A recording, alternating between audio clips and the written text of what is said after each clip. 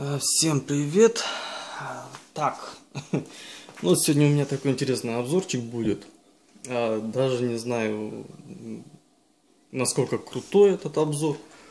Итак, перед нами очередной клон Фамикона, да, того же Дэнди, как мы еще привыкли называть, от э, компании Bitman. Если честно, я в интернете по, не, а, по этой битмановской приставке ничего не нашел. Я нашел, правда, за 5 минут, ну, сколько я сидел, да, сколько я копался. А, тут а, приставку, которая была внешне похожа на стиплер, то есть на оригинал, да? А, ну, как на оригинал? Оригинал, все мы знаем, что это NES. Вот, но в 8 битке нашел только Bitman 2. Внешне она была тоже черная и напоминала, опять же, стиплер, за которым так все охотятся. Вот. Что сказать насчет этой приставки? Еще, конечно, поползаю, посмотрю, насколько она редкая. Но у нее единственный минус, и он такой существенный. К сожалению, приставка не работает. Не знаю, что с ней, и пока ни времени не было с ней копаться, ни... Не, желание есть, времени нет. Вот. То есть, не знаю, сфокусирует ли камера сейчас. Э, Не фокусирует. Хотя автофокус. Ага. То есть не, недалеко, да? Снимаю сейчас на Galaxy S4. А, вот. Ладно. Поехали дальше. То есть все мы видим, да, Bitman, вроде бы оригинальный их, их логотип. Причем сам корпус приставки в очень хорошем таком состоянии. Ну, я, кроме э, здесь такой ползунок был, как у остальных похожих, да, на неуклонов, например, вот. То есть вот на другой приставке, да, покажу. То есть вот это вот, за что рычаг может дергать. Ну, в принципе, они, видимо, у всех отлетали, то есть сломались эти защелки, вот, и получались, что вот такой рог было видно. И все. За него, собственно, и вытаскивали кассеты. Хотя не знаю, кто им пользовался, вот этим рогом, да, но у кого у них, короче, у кого были, а никто, собственно, и не вытаскивал. То есть у моего друга, да, с которым мы прогуливали школу, лишь бы поиграть а в Дэнди. То есть мы не вытаскивали через данный рычаг э, джойстик, ой, э, картриджа. Так вот, собственно, даже не знаю, с чего а, видеообзор делать данной приставки. Ну, Сами видите, что у них два широких выхода и стандартные аудио, видео и антенные выходы. Также под обычный дендевский адаптер. Если сравнить, а, то есть а, также практически одинаковые. То есть решетка для охлаждения, то есть типа радиатора какого-то, да? И 6 болтов. Ножки. И наклейка, то есть серийный номер. Не знаю, можно ли по серийному номеру найти данную приставку. Попробуем еще, поищем, конечно.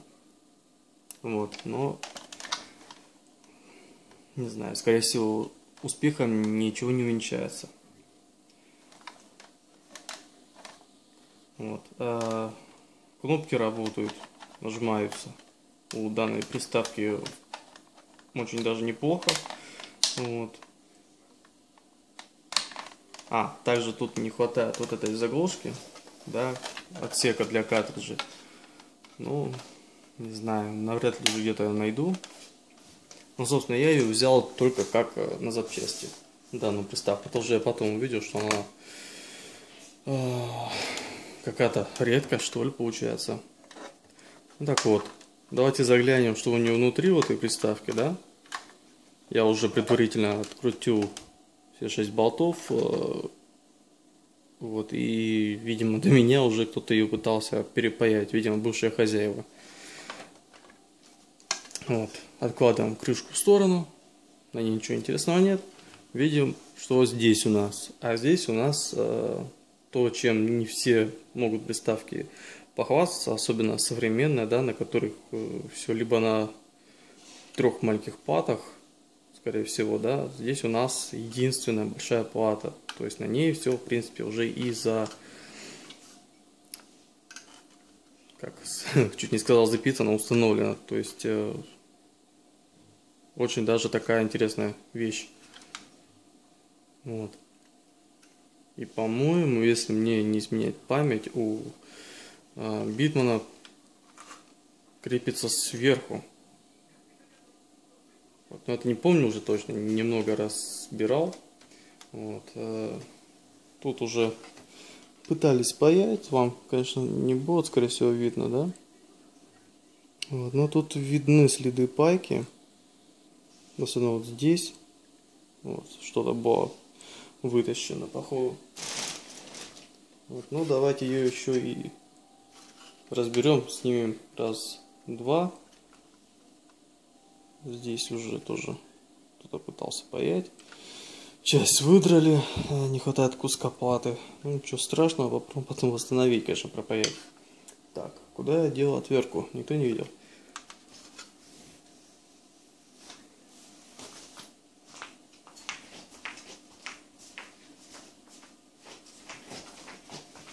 Вот, а теперь скроем ее окончательно. Так, здесь у нас вообще один болт с этой стороны. Может быть, конечно, и два было, но я тут... Ага, да, вот здесь еще один болт был. Его, видимо, потеряли, когда раскручивали. Так, а также с этой стороны э, гнездо. Здесь, видите, шатается. Ну, открутим этот болт. Пусть он хоть и ничего не держит, но...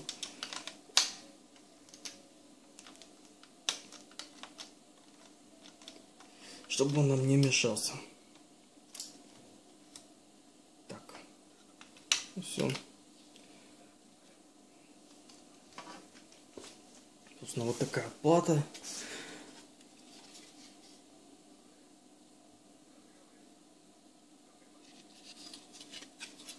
Кнопка включения-выключения. Вот на таком грибочке да, находится.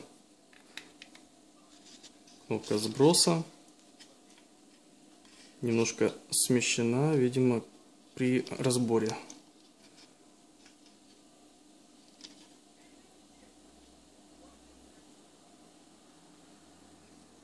Подстройка. Да, скорее всего, это оригинальный битмановский а, экземпляр. Поэтому попробуем его реально восстановить. Вот.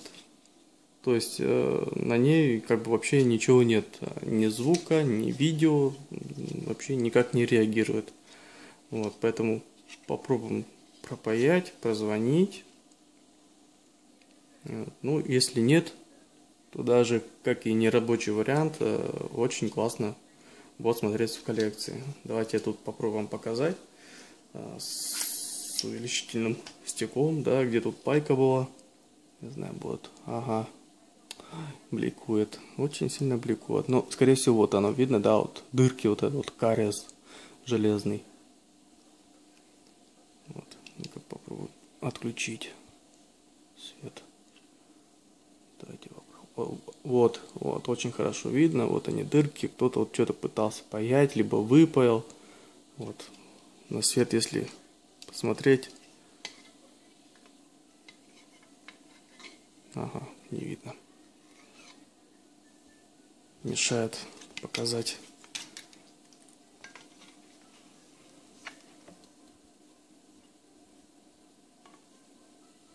Да, дырки не видны. Ага, вон они просвечивают. То есть вот кто-то так поиздевался. Ничего. Займемся пайкой. То есть вот такая вот классная плата. Мне очень она тоже понравилась. Там, видимо, скрываются... Там у нас скрываются мозги, наверное, самое главное. Чип. Вот под такой штукой интересной.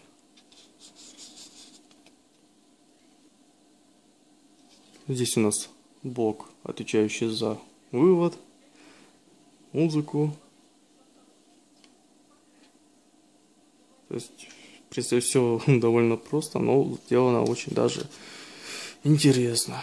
Ну, в принципе, я думаю, на этом все. Я не знаю, насколько получился хороший обзор. Возможно, вы мне подскажете, что это за приставка такая. Возможно, кто-то встречался более конкретно с ними и либо, возможно, у кого-то есть даже, э, даже рабочий вариант. Вот. То есть вот такая приставка в коллекции. Надеемся, еще воскресим на своем веку. Вот, надежда умирает всегда последней. А, забирал я ее, значит, как я уже сказал, в качестве запчастей для других приставок. Вот. Потом мы ее отложим. Потом все скрутим. Вот, а забирал ее, значит, вместе вот, вот с таким вот набором. Вот с таким вот набором. Вот такого брахла. То есть, что у меня здесь было, да? Вот они джойстики. Тоже написано Bitman. То есть вот они от нее, да. И я нашел, что на втором Битмане, который под как раз был похож на стиплер, а у них такая же цветовая гамма кнопок на джойстиках. Обычные такие кирпичики. Вот. Кнопки, конечно, еще пригодятся нам, потому что у меня есть э, джойстик, на котором нет крестика нормального. А, вот я даже вам его, наверное, сейчас... Хотя нет, потом покажу. Вот, тоже его пытались вскрыть, и попаять, видимо. Вот. То есть такой джойстик. Причем качество у них вообще ну, классное. Не знаю, что выбило у данного а, девайса. Вот будем разбираться. Тут какие-то еще провода отдали. От э, джуниоровского части. Вот э, от чего даже не могу сказать. Рабочие, не рабочие, не знаю. То есть кнопки. Вот еще от одного джойстика, от битмановского. Вот. Запчасти. Так что будем смотреть, что сможем а, сделать с этим. Вот. Вот такие вот погремушки у меня появились на той неделе. Вот. Кстати, блок питания отдали, да, но блок питания, он, конечно, подходит по параметрам. 500 а, миллиампер, а, как у стандартных, да, классических Дэнди, там, у многих, что тут наподобие таких. А хотя, не знаю, да, на такой не будет работать.